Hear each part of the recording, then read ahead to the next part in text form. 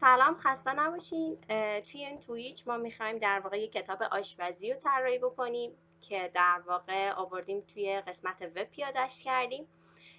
سایت ما به این صورت هستش که مثل دقیقا یک کتاب آشپزیه که دقیقا ما میایم اینجا سرچ می‌کنیم. یه سری از غذاها رو حالا من به صورت پیشفرض اومدم دو تا انتخاب کردم. میاد به ما میگه که چقدر طول می‌کشه که غذای ما آماده بشه. واسه چند نفر می‌خوای آماده بکنی؟ و در نهایت هم میگه که مواد لازم چیا هستن. توی آینده حالا من اینو ارتقاش میدم ولی در حالت الان فقط دو تا از رسپیام کار می‌کنن به صورت پیشفرض بعدا میام ارتقاش بدیم. آه یه نکته دیگه هم که بگم بچه من از یه API خاصی دارم این اطلاعات رو میگم یعنی خودم هیچی ندارم بهش یه API دارم و با استفاده از اون داره در واقع برای من نشون میده که چیا رو باید ببینیم. خب میایم اینجا. چیزی که می‌خوایم الان با هم دیگه راجبش حرف بزنیم اینه که دو تا نکته وجود داره. اولش اینه که من ترتیب کدهایی که بهتون توضیح میدم در واقع برای چیزی هستش که خودم طراحیش کردم یعنی خیلی بهتر از این می‌شد طراحی بشه. نکته دومم این هستش که تمام کدها رو ابتدا اومدم توی کنترلرم قرار دادم. بعدا اومدم اونها رو ماژولارش کردم. خب اول بیایم اینجا. همونطور که گفتم من آدرس اطلاعات یعنی آدرسی که دارم ازش اطلاعاتمو می‌گیرم این آدرس هستش و تمام اطلاعات من از این آدرس میاد. در نهایت ما اینجا اومدیم. یه دونه function تعریف کردیم یا یه تابع تعریف کردیم که اسمش اول show recipe بوده که در واقع برای دریافت کردن اطلاعات ما هستش و همچنین نمایش اطلاعات ما. خب توی اینجا هم در واقع ما اومدیم یه آلرتی رو ست کردیم که بیاد به ما بفهمونه که اگه یارل ما اشتباه بود یه آلرتی رو به ما نشون بده.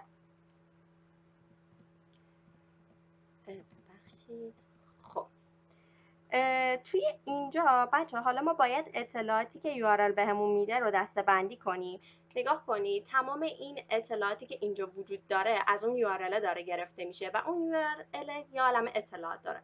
من با استفاده از یه متدی حالا اینجا بهتون دارم نشون میدم.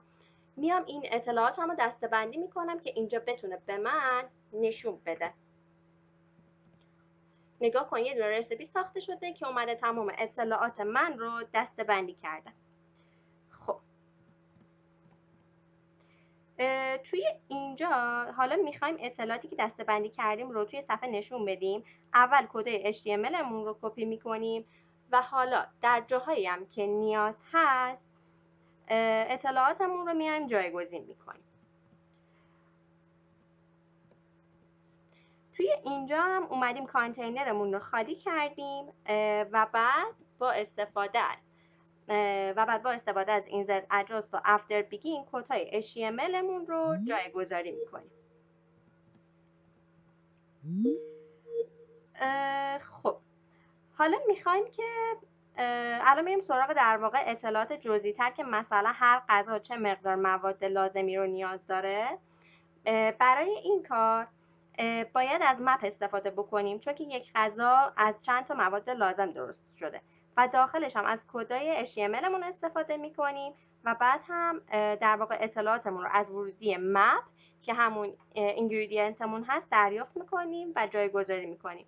و در آخر هم میایم از join استفاده می‌کنیم که بیاد این داده هامون رو به همدیگه بچسبونه. خب بخش بعدی اضافه کردن لوگوی loading هستش. پس تابعش رو ما اینجا می‌سازیم و برای و برای نشون دادنش هم میایم اینجا از after begin و insert adjacent استفاده می‌کنیم. و در نهایت و در نهایت هم فراخونیش می‌کنیم و recipe container مون رو بهش pass میدیم. یعنی بیاد spinner مون رو توی کانتینرمون نشون بده. حالا میایم توی HTML مون. همونطور که بهتون گفتم من اینجا اومدم دو تا recipe اضافه کردم که به صورت پیشفرض بیام بهتون توضیح بدم. پس اینجا اومده recipe های من تعریف شده و یه دونه ID یا همون URL هم بهش البته ID URL میشه یه دونه URL هم بهش تخصیص دادیم. خب همونطور که گفتم کاری که می‌خوایم انجام بدیم اینه که وقتی روی لینکی زدیم هم آدرس اون لینک در قسمت URL ما بیاد و همین که صفحه رو با صفحه رو از طریق آدرسش نشون بدیم. که مثالش هم بهتون نشون دادم. توی فایل کنترلرمون وارد میشیم و میایم توی قسمت ای ببخشید. اینجا از ویندو ادیول لیسنر استفاده می‌کنیم. دو تا چند تا نکته اینجا وجود داره. بچه لینک صفحه از قسمت هشتگ به بعده برای همین از هشتگ استفاده می‌کنیم و در نهایت هم شو رسپیمون رو میایم اینجا فراخونی می‌کنیم.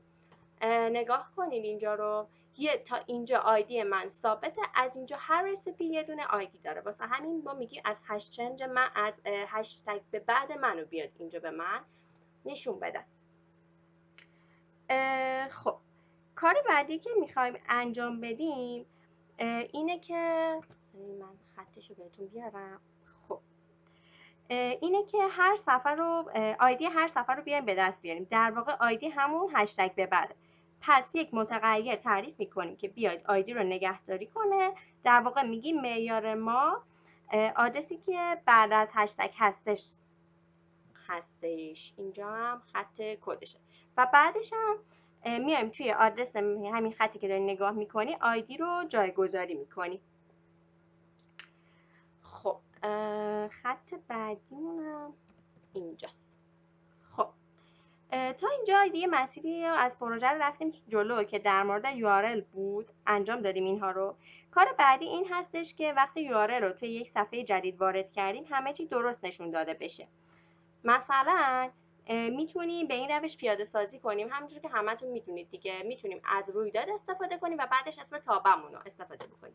که این دو تا خط من اول استفاده کردم ولی بعدتر با یه متد جدیدی آشنا شدم که این شکلی بود. یعنی می‌تونستیم دو تا رویدادهامون رو اینجا فراخونی کنیم و با استفاده از فور ایچ بیایم بگیم که هر سری کدوم از اینا رو بیاد به من نشون بده. خب. بعدیش خط بعدی ببخشید. خط بعدی. چرا؟ اینجا. حالا در مورد چی صحبت می‌کنیم؟ و تمام این کودهایی که زدیم برای وقتی بودش که آیدی داشتیم. حالا اگه آیدی نداشتیم باید یک صفحه خالی رو بیاد بهمون برگردونه دیگه. واسه همین میایم از ریتن استفاده می‌کنیم. حالا میریم سراغ ماژولار کردنمون که بیام کدهامون رو جدا کنیم.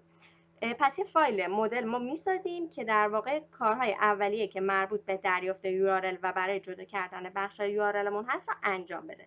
چه کدهایی میشه؟ در واقع این کدهایی میشه که من اینجا دارم بهتون نشون میدم. از خط 51 تا خط 71 رو ما باید ببریم توی فایل مدلمون.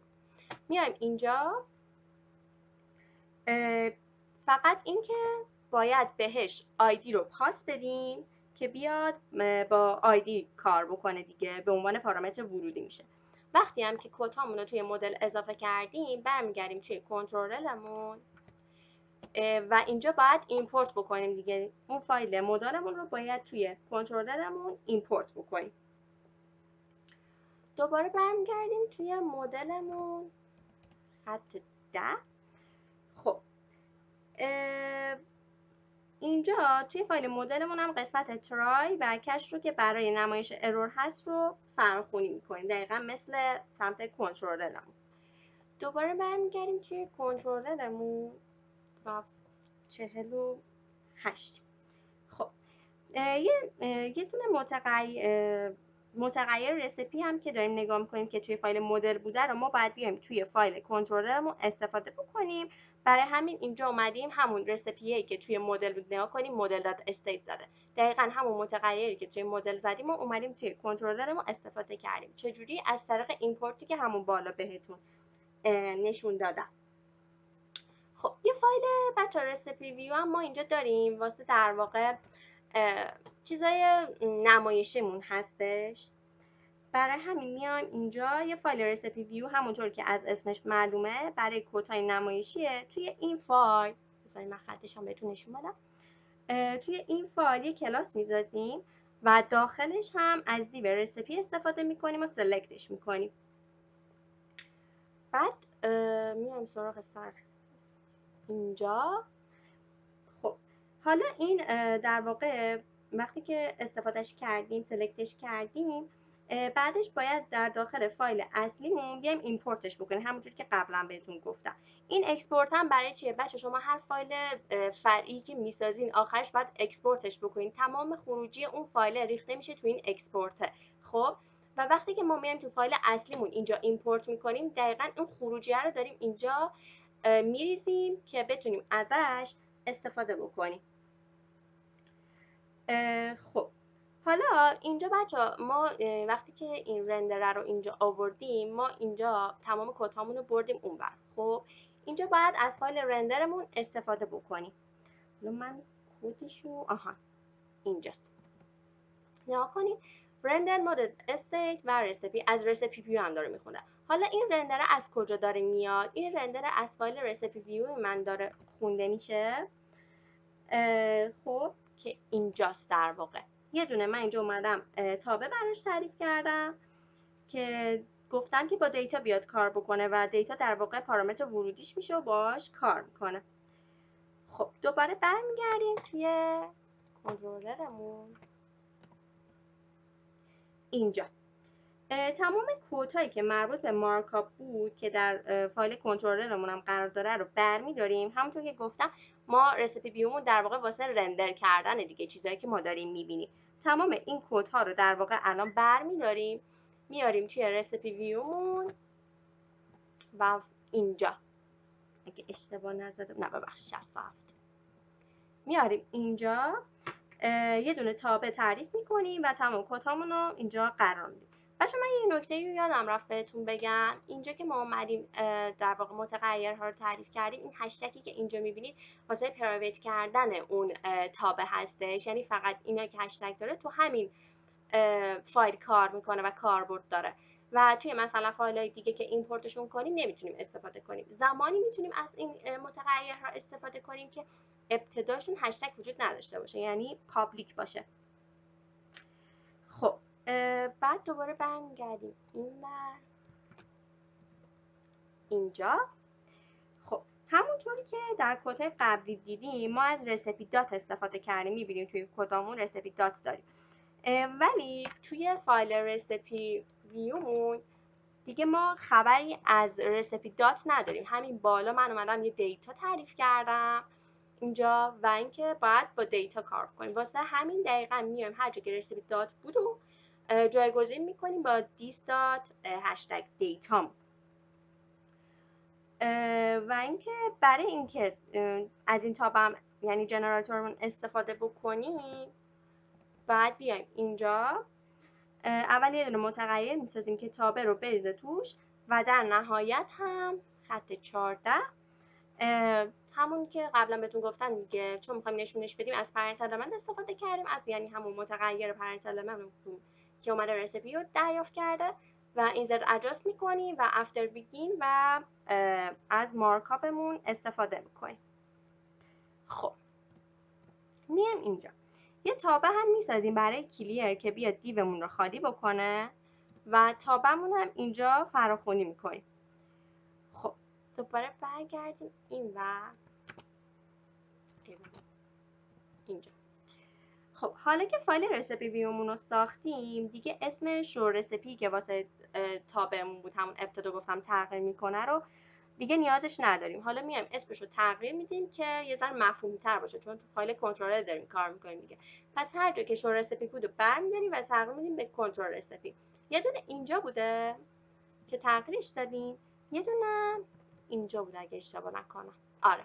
اینو برمیداریم یعنی اینو برمیداریم تبدیل میکنیمش به این خب دوباره برمیگردیم. ها تو همین کنترلریم که هیچی. اگه اشتباه نکنم 23 آره. کدای render spinner مون هم از کنترلرمون برمیداریم و میاریم توی چون به صورت نمایشی میاریم توی show recipe مون میاریم اینجا قرار میدیم و به عنوان یک public یک متد public همونجور که بهتون گفتم هشتگ نداره. پس به عنوان یه متد public تعریف می‌کنیم. و parent element و parent element ها هم دیگه همین پایین داریم می‌بینیم دیگه. دوباره بهش اضافه کردیم. و چون که اینجا ما داریم از آیکون استفاده می‌کنیم پس همین ابتدا باید آیکون هامون رو import بکنیم.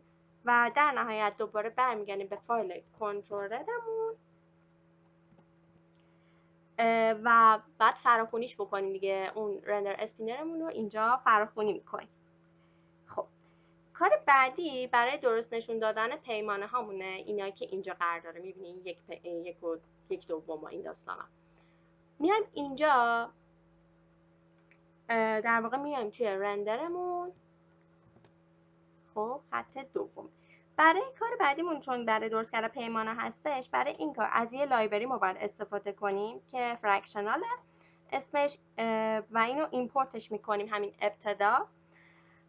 و باید توی کد وقتی import ش کردیم باید بیایم توی کد هامون هم در واقع بیایم استفادهش کنیم دیگه. می‌بینید؟ داریم میگیم که اگه fractional وجود داشت یعنی اگه ورودی داشتیم یعنی یک عددی رو داشتیم بیاد از fractional استفاده بکنه. اگر هم وجود نداشت که بیاد از یه آرایه خالی یعنی یه رشته خالی استفاده بکنه. خب خط بعدی اینجاست.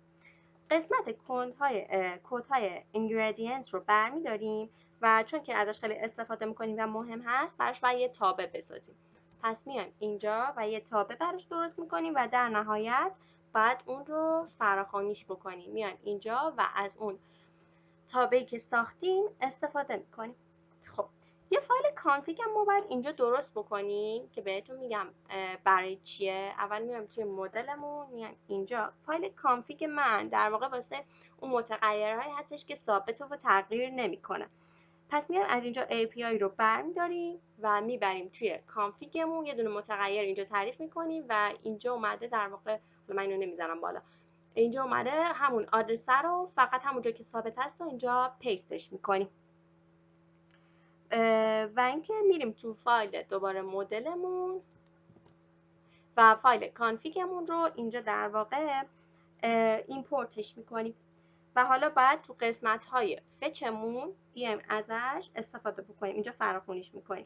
یه فایل helper هم می‌سازیم برای دریافت کردن JS که در واقع میشه برای بخش دریافت URL و load کردن. پس میریم تو فایل دوباره همون تو فایل مدلمونیم خط دوازدهمون کدوم کد رو باید کپی کنیم؟ این کد هایی که اینجا من کامنتش کردم و برمیداریم. میایم توی هلپرمون و اینجا اضافهش می‌کنیم. توی متغیر get json در واقع اینجا میریزیمش. و همونطور که گفتم پارامتر ورودی بهش میدیم که همون یو هستش. داخل فایل مدلمون هم باید بیایم در واقع هلپرزمون رو ایمپورت می‌کنیم.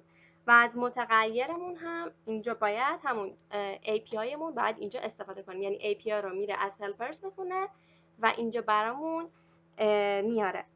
خب دوباره برمیگردیم توی فایل کنترلرمون. اینجا. توی فایل کنترل ما یک کدی داشتیم برای نمایش داده ها وقتی این صفحه لود می‌شد و یا آدرسش بعد از هشتگ تغییر می‌کرد. این کد ها رو باید برداریم ببریم توی recipe view مون چون که دوباره واسه نمایشه پس اینجا رو کپی می‌کنیم میایم این و و میایم اینجا. پس اینجا میایم یه دونه در واقع همون متد براش می‌سازیم و یه دونه در واقع handler هم بهش pass میدیم و همونم کپی می‌کنیم اینجا. و میایم وقتی که اینجا رو ساختیم برمیگردیم توی کنترلرمون.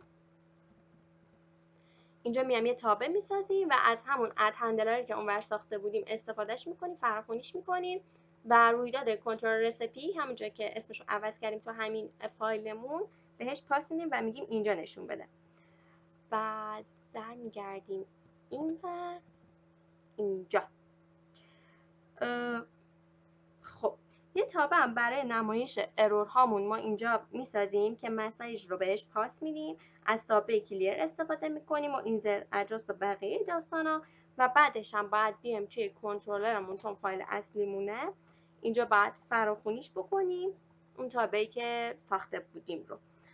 بعد اینکه دوباره هم یه دونه اینجا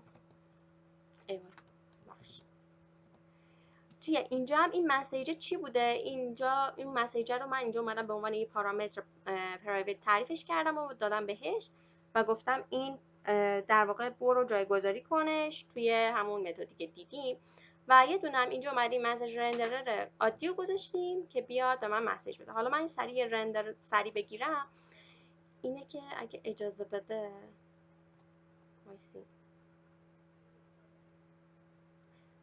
کاری که ما کرده بودیم و اینجا در واقع این همون اسپینر است که میاد اینجا میچرخه برای من و میاد به من نشون میده. نگاه کنی آیدیاش فرق می‌کنه با هم دیگه. می‌بینید حالا من اگه همینو کپی کنم بیارم این ور پیس کنم دوباره به من نشون میده. حالا اگه من یه آیدی اشتباه بهش بدم اینجا همون مسیجر رو که دیدیم رو به من نشون میده. و اگرم اینجا هیچ آیدی بهش نداده باشیم میاد این مسیج دومی رو به من نشون میده. تموم شد تویچ من